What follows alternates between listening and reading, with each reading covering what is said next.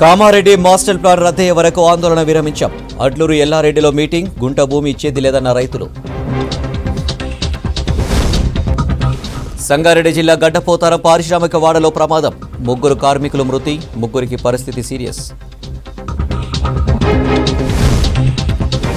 భద్రాచలంలో రాములోరి భక్తులకు బూజు పట్టిన లడ్డులు. ముక్కోటి ఏకాదశి సందర్భంగా మిగిలిన వాటిని అమ్మకం.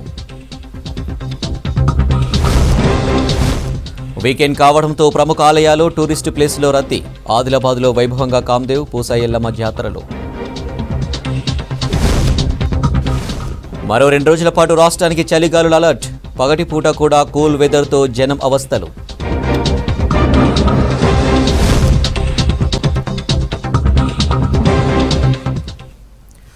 డీటెయిల్ చూస్తే సంగారెడ్డి జిల్లా చిన్నారం మండలం గడ్డపోతారం పారిశ్రామిక వాడలో ఘోర ప్రమాదం జరిగింది.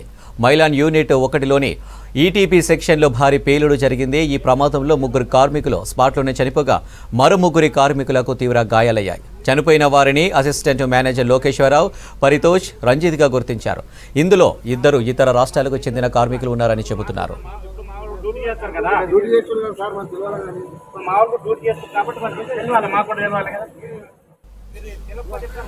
పరిశ్రమలోని గోదాంలో కెమికల్ను వేరే డ్రమ్ములోకి మారుస్తుండగా ప్రమాదం జరిగిందంటున్నారు పోలీసులు. స్టాటిక్ ఎనర్జీతో ఫ్లాష్ ఫైర్ రావడంతో ఫైర్ యాక్సిడెంట్ అయిందని బొలారం సేయ చెబుతున్నారు.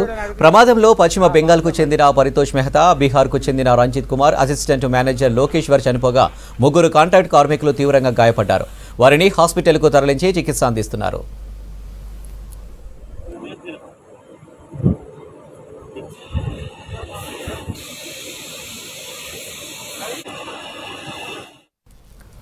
సీఎం కేసీఆర్ సింగరేణిని బొందలగడ్డగా మారుస్తున్నారని మండిపడ్డారు టీజేఎస్ అధ్యక్షుడు ప్రొఫెసర్ గోదంటరాం. అరుణోదయ గౌరవ అధ్యక్షురాలు విమలక సింగరేణి నిర్వీర్యం చేసేందుకు కేంద్ర రాష్ట్ర ప్రభుత్వాలు కుట్రలు చేస్తున్నాయని ఆరోపించారు. పెద్దపల్లి జిల్లా గోదావరికని ప్రెస్ క్లబ్లో సింగరేణి ప్రైవేటీకరణకు వ్యతిరేకంగా కాంట్రాక్టు కార్మికుల సమస్యలపై ఏర్పాటు చేసిన సదస్సులో పాల్గొన్నారు. కేంద్రం బొగ్గు గనుల ప్రైవేటీకరణకు పాల్పడుతుంటే రాష్ట్ర ప్రభుత్వం సింగరేణి సంస్థలో కాంట్రాక్టీకరణ ప్రోత్సహిస్తూ ప్రైవేట్ సంస్థలకు అప్పగిస్తున్నారు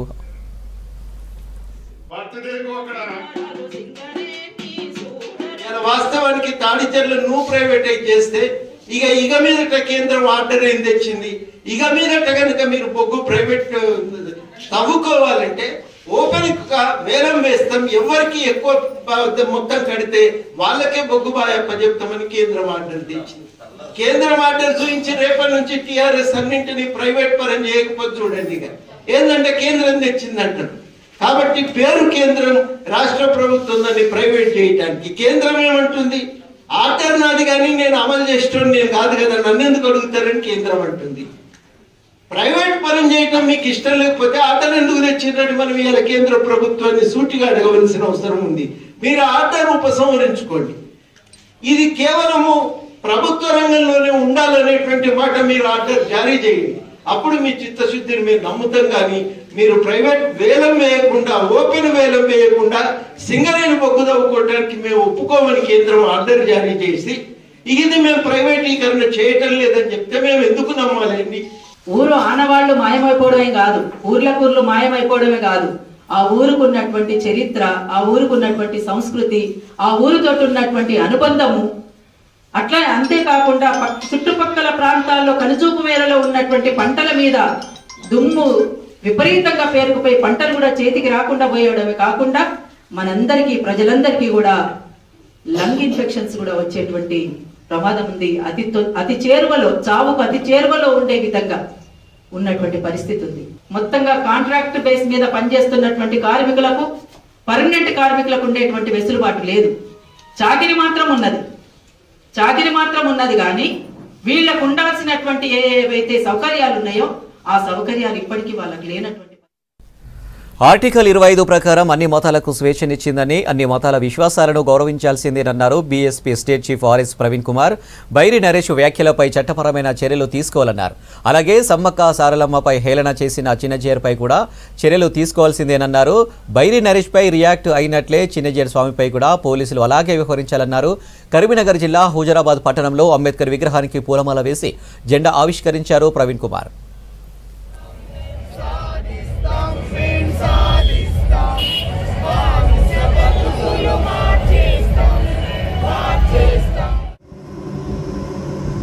రాజ్యాంగంలో ఆర్టికల్ ట్వంటీ ఫైవ్ ఇరవయవ అధికరణం అన్ని మతాలకు కూడా పూర్తిగా స్వేచ్ఛనిచ్చింది.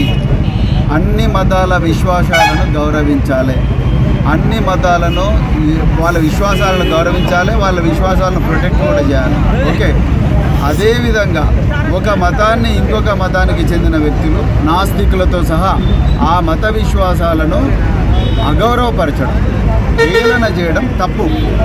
ఒకవేళ నీకు ఏ మతం మీదైనా ఎవరి విశ్వాసాల మీదైనా భిన్నాభిప్రాయాలు ఉంటే దానికి రకరకాల వేదికలు ఉన్నాయి దానికి పర్సనల్గా పోయి మాట్లాడవచ్చు వాళ్ళతోని.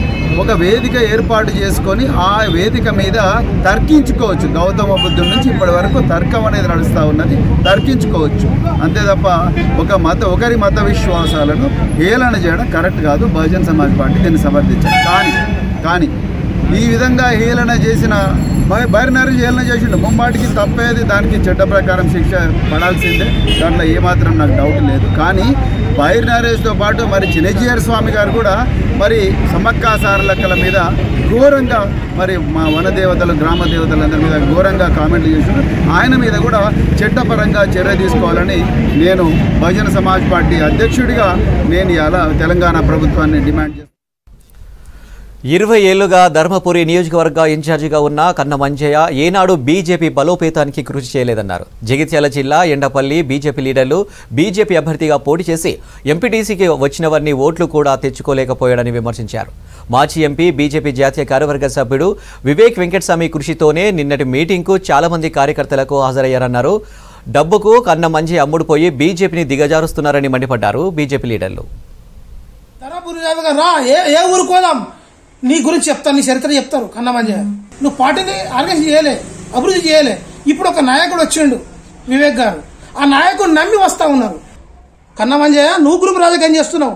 నువ్వు అంటున్నావు కదా నువ్వు తిరగని తిరగని అంటారు నువ్వు తిరగచ్చుగా నిన్ను తిరగనే మేము రోడ్ల మీద. కన్నమంజయ్య అంటే ఎంతమందిని గెలిపించిండు తన నియోజకవర్గంలో. ఆయన ఇరవై ఏళ్ళకి అని చేస్తా అంటుండే కదా ఎమ్మెల్యే నేను పోటీ చేస్తూ అంటుండే కదా. ఎంతమందిని ఒక వాడమే తయారు చేసుకోలే ఒక నాయకుని తయారు చేయలేదు. ప్రభుత్వ భూములు కబ్జా చేసుకొని లేదా మంత్రి గారికి? నువ్వేదో ఆలోచాయి మంత్రి తన కమిట్మెంట్ అయ్యి నీ భూమి కోసం వివేక్ గారిని వచ్చుడు కాదు. కామారెడ్డి మాస్టర్ ప్లాన్ రద్దుపై వెనక్కి తగ్గటం లేదు రైతు ఐక్య కార్యాచరణ కమిటీ. ప్రభుత్వ వైపు స్థానిక ఎమ్మెల్యే గంప గోవర్ధన్ కలెక్టర్ జితేష్ పాటిల్ వివరణ ఇచ్చినా రైతులు నమ్మడం లేదు. రైతు ఐక్య కార్యాచరణ కమిటీ ఆధ్వర్యంలో ఇవాళ అడ్లూరు ఎల్లారెడ్డిలో సమావేశం ఏర్పాటు చేశారు. భవిష్యత్ కార్యాచరణపై చర్చించారు రైతులు. ఈ సమావేశానికి ఎనిమిది గ్రామాల రైతులు హాజరయ్యారు. మాస్టర్ ప్లాన్ రద్దయ్యే వరకు పోరు ఆపొద్దని తీర్మానం చేశారు. మంత్రి కేటీఆర్ ప్రకటన చేయాలని రైతులు డిమాండ్ చేస్తున్నారు. ఎమ్మెల్యే గంప గోవర్ధన్ రైతుల పక్షాన నిలబడాలని కోరుతున్నారు. ఈ నెల పన్నెండున మున్సిపల్ సమావేశం జరగనుంది. ఆ మీటింగ్లో మాస్టర్ ప్లాన్ను రద్దు చేస్తూ తీర్మానం చేయాలంటున్నారు రైతులు. అందుకోసం కౌన్సిలర్లు ప్రజా ప్రతినిధులకు వినతి పత్రాలు ఇవ్వాలని నిర్ణయించారు. మాస్టర్ ప్లాన్కు అప్రూవ్ తేలితే మాత్రం ఎట్టి పరిస్థితుల్లో ఊరుకునేది లేదని ప్రాణాలు పోయినా భూములు ఇచ్చేది లేదంటున్నారు రైతులు.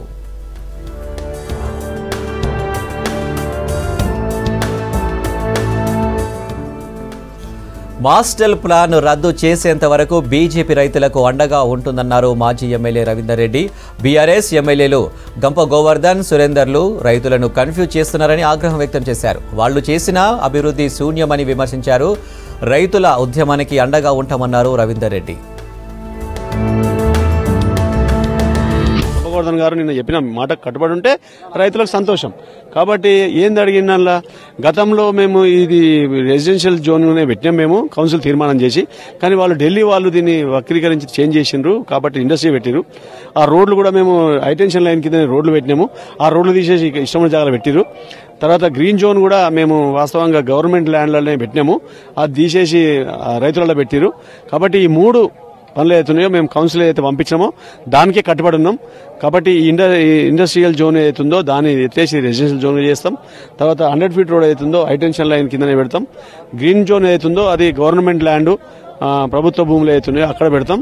రైతులు మాత్రం ఎక్కడ ఇబ్బంది పెట్టమని చెప్తా ఉన్నారు. చాలా సంతోషం. వాళ్ళు లెవెంత్ నాడు ఈ ముసాయిదా క్లోజ్ అయిన తర్వాత ఫైనల్గా కౌన్సిల్ తీర్మానంకి ఏం పోతుంది అనేది మాకు తెలుస్తుంది కదా. కౌన్సిల్ తీర్మానం ఏమైతే తెలుస్తుంది. తెలిసిన తర్వాత కౌన్సిల్ తీర్మానంలో ఈ పన్నెండు వందల తొంభై ఎకరాలు పదకొండు వందల తొంభై పన్నెండు ఎకరాలు రెసిడెన్షియల్ రెసిడెన్షియల్ జోన్గా ఉన్నదాన్ని ఇండస్ట్రీగా పెట్టి దాన్ని తీసేసి రెసిడెన్షియల్ పెట్టి హండ్రెడ్ ఫీట్ రోడ్స్ అవుతున్నాయో హైటెన్షన్ లైన్ కాడ ఎక్కడైతే అవసరం అక్కడ పెట్టి అస్తవ్యస్తంగా ఎక్కడ రోడ్లు ఎక్కడ వేసి లేదు కూడా వేసి ఆ గ్రీన్ బెల్ట్ను కూడా వంద శాతం గవర్నమెంట్ ల్యాండ్లో తడబెడితే హ్యాపీ రైతులు విజయం సాధించినట్లు లెక్క. లేక ఇదేదో మాయమాటలు చెప్పి మళ్ళీ యాసిటీస్ పెడితే కరీంనగర్ జిల్లా శ్రీనివాస్ నగర్ గ్రామంలో రేణుక ఎల్లమ్మ గుడి దగ్గర గుప్త నిధుల కోసం తవ్వకాలు జరిపారు గుర్తు తెలియని వ్యక్తులు. పురాతన కాటమరాయుని విగ్రహం ముందున్న బొడ్రాయిని పెకిలించారు. అర్ధరాత్రి గుప్త నిధుల కోసమే తవ్వకాలు జరిపినట్లు చెబుతున్నారు స్థానికులు. గౌడ కులస్తుల ఫిర్యాదుతో కేసు నమోదు చేసి దర్యాప్తు చేస్తున్నారు పోలీసులు.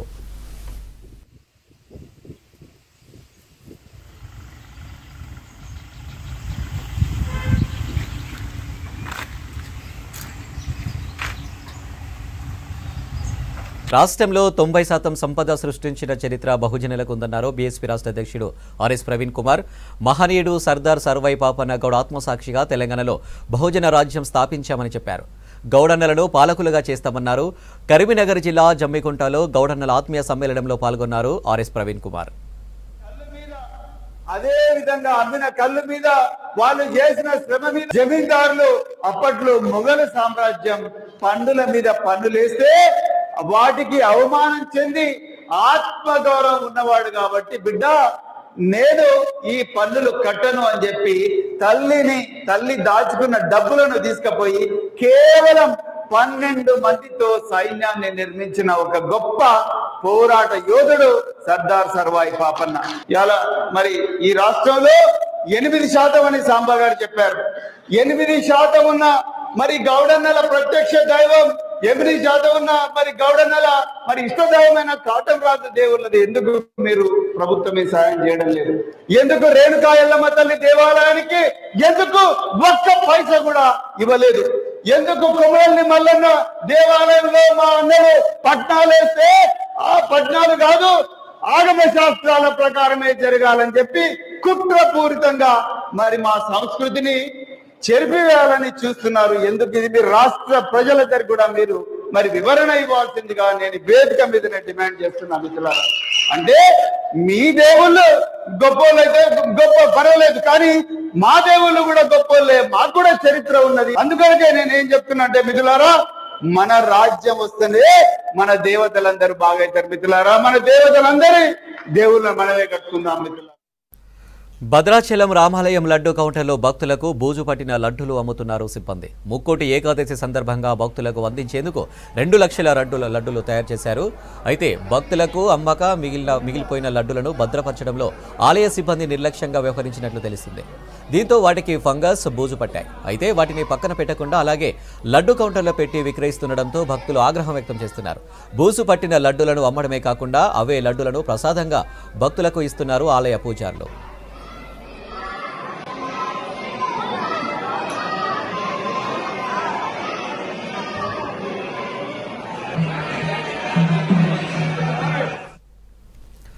ఆదిలాబాద్ జిల్లా నాన్నూరు మండలంలో కామ్దేవ్ జాతర ఘనంగా ప్రారంభమైంది.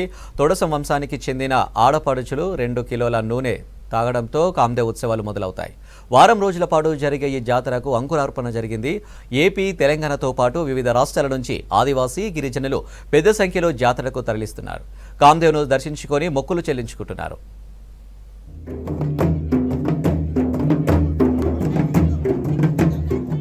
అందాలకే కాదు జాతరలకు ఆదిలాబాద్ జిల్లా పెట్టింది పేరు. జనవరి ఫిబ్రవరి మాసాల్లో జిల్లా వ్యాప్తంగా పెద్ద ఎత్తున జాతరలు ఉత్సవాలు కొనసాగుతాయి.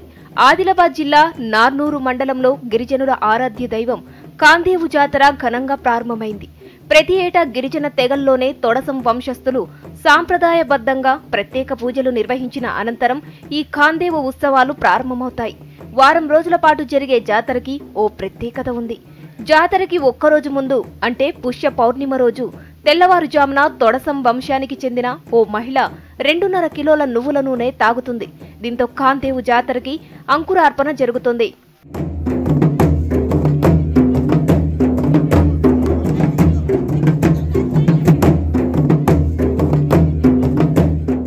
ఇలా నూనె తాగే ఆనవాయితీ దేశంలో ఎక్కడా కనిపించదు.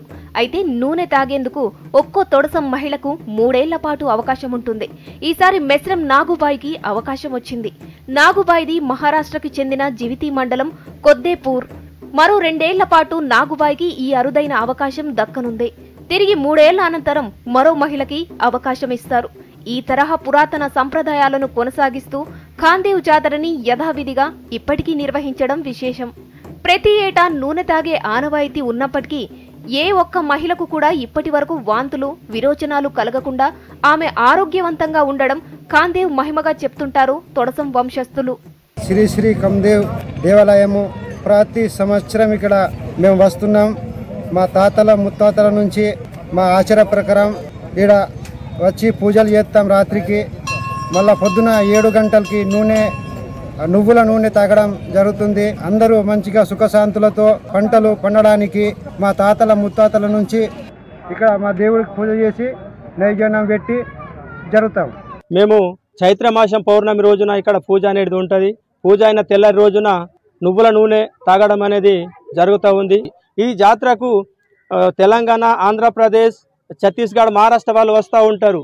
అయితే ఇది సంవత్సరాల దాకా తాత ముక్తాతల నుంచి మన ఉమ్మడి ఆంధ్రప్రదేశ్ తెలంగాణలోనే నువ్వుల నూనె తాగడం అనేది జరిగింది. ఈ సంవత్సరం తొలిసారిగా కొద్దపూర్ ఆ, తొడసం వంశులు మేస్రం నాగుబాయి అనే ఆడపడుచు తాగడం అనేది జరిగింది. తమ పూర్వీకుల ఆచారాలను ఇంకా కొనసాగిస్తున్నారు తొడసం వంశస్థులు. ఆలయంలో ఉన్న పులి ఏనుగు కాందేవులకు ఏటా ఉత్సవాల సమయంలో మొక్కులు చెల్లించుకుంటారు. వివిధ రాష్ట్రాల నుండి ఏటా పెద్ద ఎత్తున భక్తులు కాందేవ్ ఉత్సవాలకు వస్తుంటారు. మరో ఆలయ పరిసరాల్లో కనీస సౌకర్యాలు లేక ఇబ్బందులు పడుతున్నారు భక్తులు. ప్రత్యేకంగా మహిళలకు స్నానపు గదులు టాయిలెట్స్ రక్షిత మంచినీరు లాంటి కనీస మౌలిక సదుపాయాలు లేక భక్తులు ఇబ్బంది పడుతున్నారు.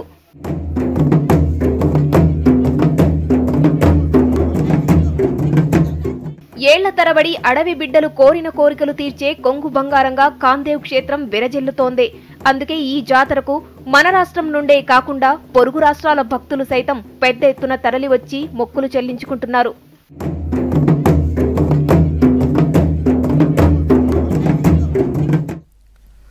నాగోబా జాతర ప్రారంభానికి సిద్ధమవుతుంది. పుష్యమాసం రావడంతో ఈ నెల ఇరవై ఒకటిన జాతర ప్రారంభానికి సన్నద్ధమవుతుంది. ఆదిలాబాద్ జిల్లా ఇంద్రవెల్లి మండలం కేస్లాపూర్లో మిశ్రం వంశీయులు నెలవంక చూసి సంస్కృతి సాంప్రదాయాల ప్రకారం నాగోబాకు పూజలు చేశారు. తర్వాత గంగాజలం కోసం రెండు వందల మందితో హస్తిన మడుగుకు వెళ్ళనున్నారు ఇవాళ జైనూరు మండలానికి చేరుకున్నారు మిశ్రం వంశీయులు.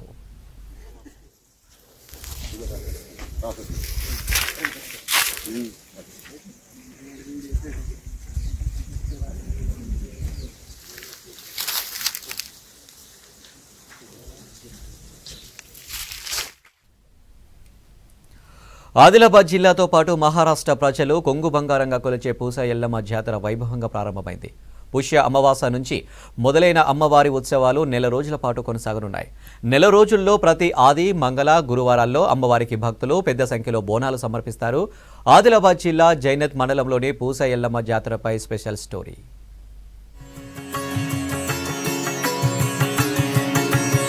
పుష్యమాసంలో ఆదిలాబాద్ జిల్లాలోని చాలా ప్రాంతాల్లో జాతరలు జరుగుతుంటాయి. అయితే జిల్లాలో జరిగే అన్ని జాతరలు వెజిటేరియన్ అయితే పూసా ఎల్లమ్మ జాతర నాన్ వెజ్ జాతరగా గుర్తింపు పొందింది. ఏటా భక్తులు అధిక సంఖ్యలో అమ్మవారికి మొక్కులు చెల్లించుకుంటుంటారు. ఆదిలాబాద్ జిల్లా జైనద్ మండలంలోని పూసాయి గ్రామ శివారులో ఈ ఆలయం కొలువైంది. దాదాపు నూట యాభై ఏండ్లుగా భక్తులు ఇక్కడ పూజలు చేస్తున్నారు. పుష్యమాసం ప్రారంభంలో వచ్చే అమావాస్య మొదలు మళ్ళీ పుష్యమాసం చివరి అమావాస్య రోజు వరకు జాతర కొనసాగుతుంది.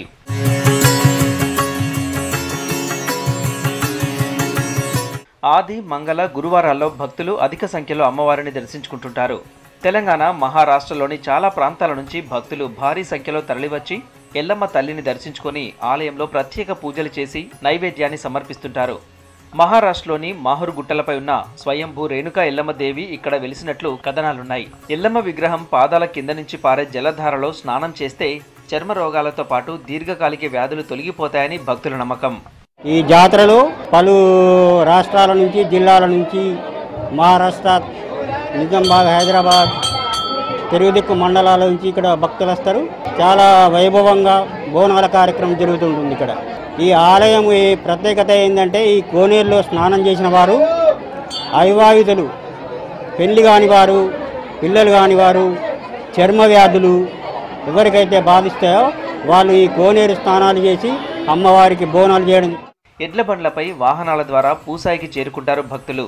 పూసాయి ఎల్లమ్మ ఆలయం చుట్టూ ఉన్న ఖాళీ ప్రదేశంతో పాటు పక్కనే పారుతున్న నది పరివాహక ప్రాంతానికి తెల్లవారుజామునే చేరుకుంటారు భక్తులు. అమ్మవారి కోనేరులో ఇంటిలిపాది స్నానాలు చేసి పిండి వంటలు తయారు చేస్తారు. ఆ పిండి వంటలు అరువన్నంతో పాటు కోళ్ళు మేకలను అమ్మవారికి బలిస్తారు. మధ్యాహ్నం నుంచి నాన్ వెజ్ వంటలు సిద్ధం చేసుకుని కుటుంబ సభ్యులు ఆత్మీయులతో అక్కడే భోజనం చేసి సాయంత్రం ఇండ్లకు బయలుదేరతారు. ఈ ఎల్లమ్మ తల్లి మమ్మల్ని మస్తు ఆదుకున్నది మేము ఇక్కడ. నా భర్త టెండర్ పట్టిండు. టెండర్ పట్టిన కాడికి వెళ్ళి మాకు అంతా మంచిగా జరుగుతున్నది. ఇక్కడ గోకుడు ఏదన్నా రోగాలు వచ్చినా ఇక్కడ కోనేళ్ళ తానాలు చేస్తే తానాలు చేస్తే ఆ రోగాలు మంచిగా అవుతాయని అంతా ఆదరిస్తుంది మాత. ఈ అమ్మవారికి ఈ మొక్కులు సమర్పించుకోవడం కూడా వల్ల మన ఎలాంటివన్నా కానీ మనం కోరుకున్నవి జరుగుతవి. ఈ కోనేటిలో స్నానం చేయడం వల్ల పిల్లలకు పెద్దలకు చర్మవాదులు రాకుండా ఎలాంటి ఇబ్బందులు కలగకుండా ఉంటాయని ప్రజల నమ్మకము. అందుకే ఎక్కడ ఉన్నా కానీ ఈ టైంలో మేము ఇక్కడికి వచ్చి బోనం సమర్పించడం అనేది కంపల్సరీ. తమ తమ కోరికలు నెరవేర్చుకోవడానికి రావడం జరుగుతుంది.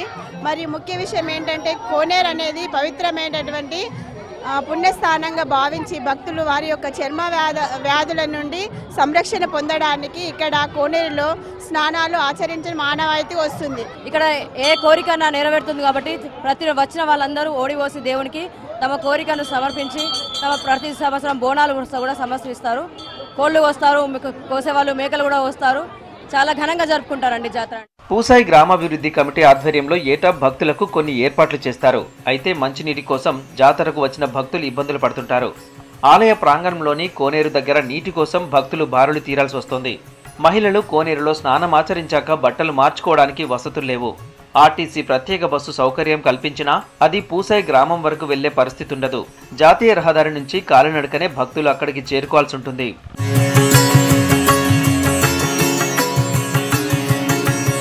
నేషనల్ హైవే నుంచి పూసాయి గ్రామానికి చేరుకోవడానికి ఉన్న రోడ్డుపై దుమ్ము ధూళి ఉండడంతో పిల్లలు వృద్ధులు తీవ్ర ఇబ్బందులకు గురవుతున్నారు.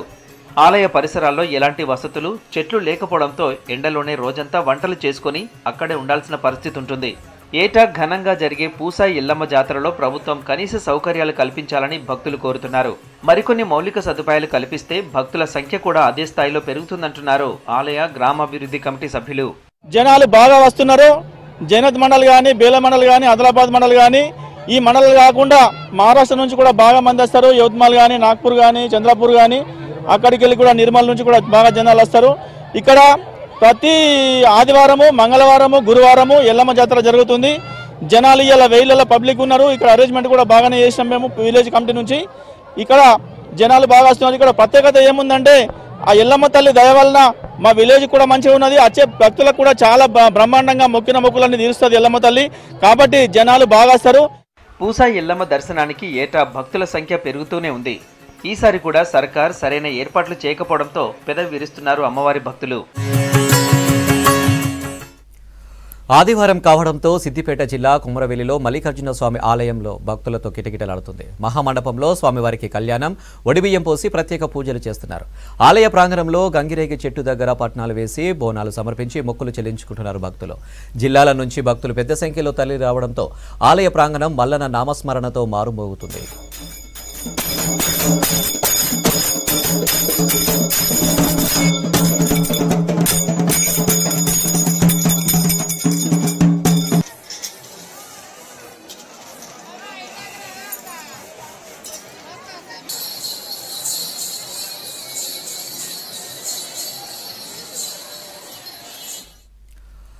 చిన్నప్పుడు ఏమీ చదువుకోలేదు. అయినా వేమన శతక పద్యాలు అవలీలగా చెబుతాడు.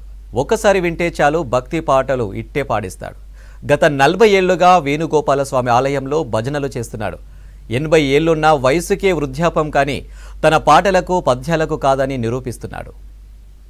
పాలు గంటెడైనను చాలు కడవడైనను నేమి కరము పాలు.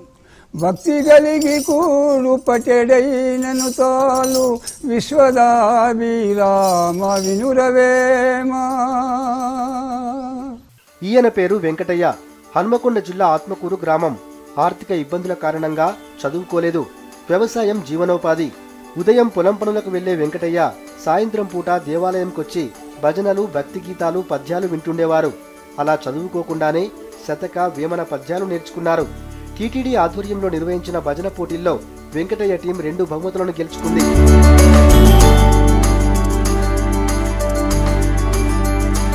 పురాతన వేణుగోపాల స్వామి దేవాలయంలో నలభై ఏళ్ళుగా భజనలు చేస్తున్నారు వెంకటయ్య. ప్రతిరోజు సాయంత్రం వచ్చి భక్తి పాటలు పాడుతుంటారు. దర్శనానికి వచ్చిన భక్తులు వెంకటయ్య పాటలకు ముగ్ధులవుతుంటారు. లాల నవనిత చోర నటవరలాల గోపాల నందలాల నవనిత చోర నటవరలాల గోపాల దేవకి కుమార దేవ దేవ గోపాల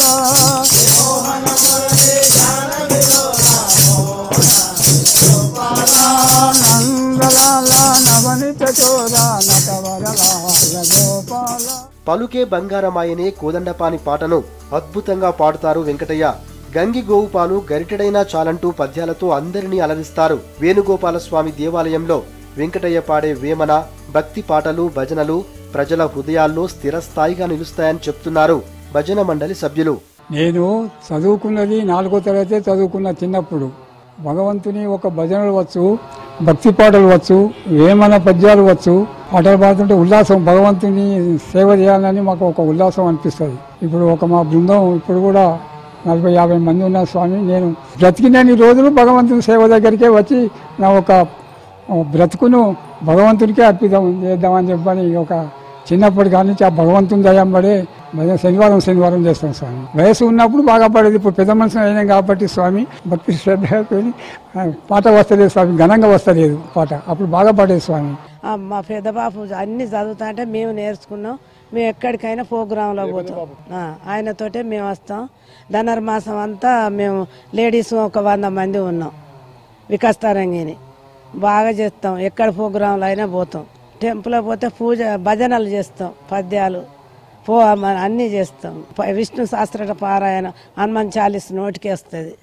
అందరం. చదువు రానోళ్ళకి కూడా వస్తుంది. వేణుగోపాల స్వామి దేవాలయంలో భజనలు చేసేందుకు వస్తున్నామన్నారు భజన మండలి సభ్యులు. ఆలయంలో విష్ణు సహస్రనామ పారాయణం హనుమాన్ చాలీసా భజనలు చేస్తామని చెప్తున్నారు. చిడతలు డోలు వాయిద్యాలతో పాటలు పాడుతామంటున్నారు. అస్మగురుభ్యో నమ. మన దగ్గర ఆత్మగురులో తెలుగు సాహిత్యం చాలా ఇదివరకు ఉండే కవు కవులు కూడా ఉండేవాళ్ళు ఇక్కడ. దాదాపు చాలామంది కవులు ఉన్నారు. అంద ఆ దాంతో పాటు ఇక్కడ అందరూ ఒక పద్యం పాడటం ఒక కీర్తన పాడటం ఆనవాయితీగా చేసుకొని అందరికీ పద్యాలు నేర్పాలి. పద్యంతో పాటు దానిలో ఉండే అర్థాన్ని వాళ్ళందరికీ నేర్పాలి అని నేర్చుకోవాలని ఆ ఆలయాన్నే గుడిగా మార్చుకొని వాళ్ళు ఆ మంచి భక్తిగా కార్యక్రమాలు చేస్తూ బదనలు చేస్తూ నూతన ఇప్పుడు ఉండే యూత్ కూడా ఇప్పుడు ఉండే యూత్ పక్కదారులు పోతా ఉన్నారు. కానీ ఆత్మకూరులో అటువంటి రాకూడదని మన వాళ్ళందరూ కూడా యూత్ను కూడా కొత్తగా మళ్ళీ ఒక భజన మండలిగా వాళ్ళు నిర్మించుకొని ఆ, ఆ ఆలయంలో ఆ స్వామిని సేవిస్తూ వారి యొక్క సేవలో తరిస్తూ. వెంకటయ్య పాటలు పాడుతుంటే తాము కోరస్ పాడతామంటున్నారు ఆలయ కమిటీ చైర్మన్ సత్యనారాయణ. ఆయన పెద్దగా చదువుకోకున్నా ఆయన పాటలు మనల్ని ఆలోచింపజేస్తాయన్నారు. భక్తుల హృదయాలకు హత్తుకుంటాయని చెప్తున్నారు. ఎనభై ఏళ్ళ వయసులో రెండు కట్టెలు పట్టుకొని దేవా గుడికి వస్తుంటారు. మాతో పాటు విష్ణు సహస్రమ పారాయణం హనుమాన్ చాలీసాలో పాల్గొంటూ ఉంటూ ఆయన ఒక మూడు వందల పద్యాలు చదవగలుగుతాడు. ఒక మూడు వందల భజన పాటలు పాడగలుగుతాడు. ఇప్పుడు మాతో పాటు కూడా దేవుని ధ్యానంలో ఆ మైకంలో ఎగురుతూ ఉంటాడు. ఆయన ఆయన అలసిపోడు. చా అటువంటి ఆయన ఉండడం మాకు చాలా అదృష్టంగా భావిస్తున్నాము. ఆయన అడుగుజాడలలో ఇక్కడ చాలామంది శిష్యులుగా తయారై ఇంకా యూత్ కూడా ఇలా భజన నేర్చుకుంటున్నారు. తిరుమల తిరుపతి దేవస్థానంలో పిలిస్తే మేము అక్కడికి వెళ్ళి కూడా భజన చేయడం జరిగింది. అక్కడ కూడా మాకు అవార్డు వచ్చింది. జిల్లాలో ఎక్కడికి వెళ్ళినా కానీ ఆత్మకూరు వేణుగోపాల స్వామి భజన మండలికి ఫస్ట్ ప్రైజ్ వస్తుంది. దానికి వారు పాడిన పాటలకే అందరూ అట్రాక్ట్ అయ్యి ప్రైజులు వస్తూ ఉంటాయి. చాలా ప్రైజులు వచ్చినాయి. యాభై పదుల వయసు వచ్చేసరికి వృద్ధులుగా మారిపోతున్న నేటి తరంలో ఎనభై ఏళ్ళ వయసులోనూ ఉత్సాహంతో ఆలయంలో వెంకటయ్య పాటలు పాడడం అందరినీ ఆశ్చర్యపరుస్తోంది. దండపాని పలుకే బంగారమాయన పలుకే బంగారమాయన దండాపాని పలుకే పలుకే బంగారామాయ పిలచిన పలుకావేమి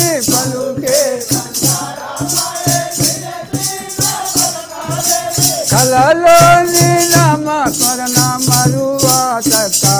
తండ్రి పలుకే కరీంనగర్లోని భగత్ నగర్లో ఇంతకాలం కోతుల బెడద మాత్రమే ఉండేది. ఇప్పుడు కొత్తగా కొండముచ్చులు కూడా వచ్చి చేరాయి. రాత్రి పగలు తేడా లేకుండా కొండముచ్చుల దండకాలని వాసుల్ని తీవ్ర ఇబ్బంది పెడుతున్నాయి. దీంతో ఇంట్లో నుంచి బయటకు రావాలంటే భయపడుతున్నారు జనం.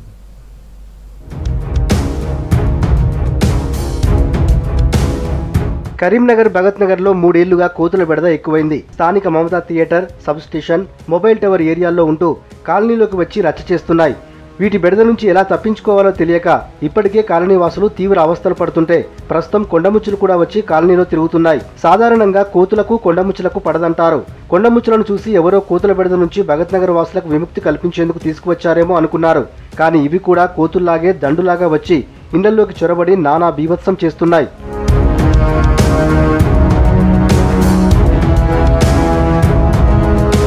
కొండముచ్చుల దండు వచ్చినప్పుడు మాత్రం కోతులన్నీ గప్చుప్గా ఎక్కడో దాక్కుంటున్నాయంటున్నారు స్థానికులు. కొద్దిసేపటికి కొండముచ్చులు పోయాక మళ్ళీ కోతులు వచ్చి కాలనీల్లో తిరుగుతూ జనాన్ని తీవ్ర ఇబ్బందులు పెడుతున్నాయని చెప్తున్నారు. దుకాణాల్లో వస్తువులు ఇళ్ళలో చొరబడి తినుబండరాలను పప్పులు ఇతర వస్తువులను ఎత్తుకెళ్తున్నాయంటున్నారు. జనాలపైకి వస్తూ పిల్లలు పెద్దల్ని భయపెడుతున్నాయని వాపోతున్నారు.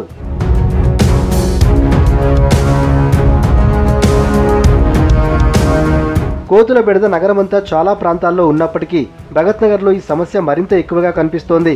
మేయర్ సునీల్ రావు ప్రాతినిధ్యం వహిస్తున్న ఈ డివిజన్లో కోతుల బెడద లేకుండా అధికారులు ప్రత్యేక దృష్టి పెట్టాలంటున్నారు కాలనీవాసులు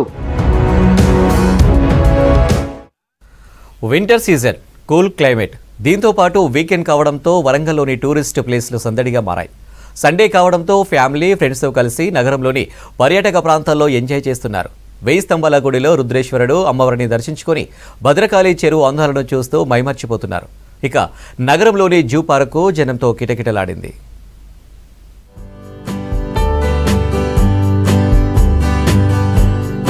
ఉమ్మడి వరంగల్ జిల్లాలోని పర్యాటక ప్రాంతాలకు టూరిస్టులు క్యూ కడుతున్నారు. మంచు పడుతుండడం చల్లని గాలులు పచ్చని వాతావరణం ఇలా ప్రకృతితో మమేకమయ్యే ప్రాంతాలకు నెలవుగా ఉంది వరంగల్. దీంతో వీకెండ్ వస్తే హైదరాబాద్తో పాటు చుట్టుపక్కల జిల్లాల నుంచి పర్యాటకులు వరంగల్కు వస్తున్నారు. వింటర్ సీజన్ కూల్ క్లైమేట్ దీంతో పాటు వీకెండ్ కావడంతో వరంగల్లోని టూరిస్ట్ ప్లేస్లకు వెళ్తున్నారు. దీంతో వరంగల్ నగరంలోని పలు టూరిజం ప్రాంతాలు సందర్శకులతో సందడిగా మారాయి.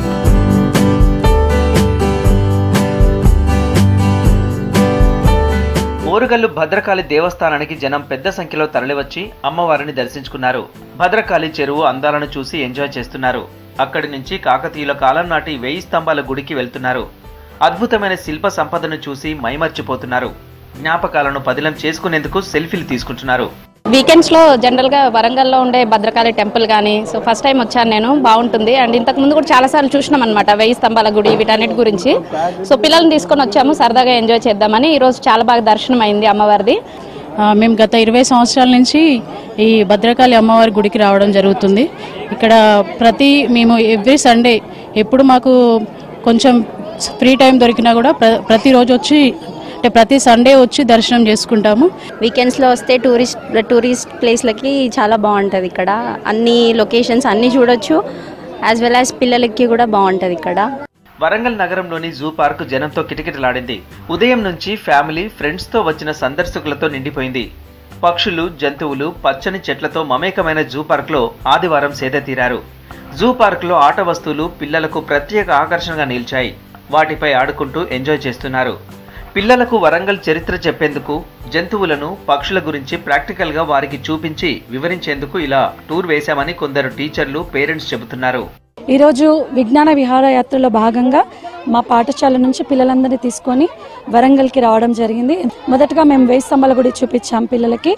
సో పిల్లలు చాలా ఎంజాయ్ చేశారు. చారిత్రాత్మకంగా చూసినట్లయితే మన వరంగల్కి ఎంతో మంచి నేపథ్యం ఉంది. అంటే మనం చెప్పడం కంటే పిల్లలు ప్రాక్టికల్గా చూస్తే దాని గురించి ఎక్కువగా అర్థం చేసుకునే అవకాశం ఉంటుంది కాబట్టి మేము ఈరోజు పిల్లల్ని తీసుకొని వచ్చాము. న్యూ ఇయర్ స్టార్ట్ అవ్వగానే ఫస్ట్ వీక్ పిల్లల్ని కొత్త ప్లేసెస్కి తీసుకెళ్తా ఉంటాం. సో ఈసారి పిల్లలతో మేము మార్నింగ్ భద్రకాళి బండి వెళ్ళాం. భద్రకాళి టెంపుల్ కూడా వెళ్ళాము. లాస్ట్ ఇక్కడ జూ పార్క్ వచ్చాము. నెక్స్ట్ కిలా వరంగల్ కూడా వెళ్ళబోతున్నాం. ఇవన్నీ చాలా హిస్టారికల్ ప్లేసెస్ వీటికి చాలా మంచి ఇక్కడ లొకేషన్ కూడా చాలా బాగుంది. పిల్లలు చాలా బాగా ఎంజాయ్ చేస్తున్నారు మార్నింగ్ నుంచి. వీకెండ్ వస్తే వరంగల్కు టూరిస్టుల సంఖ్య గణనీయంగా పెరుగుతోంది. హైదరాబాద్ తరహాలో ఇంకా టూరిజంను డెవలప్ చేయాల్సిన అవసరం ఉందంటున్నారు సందర్శకులు.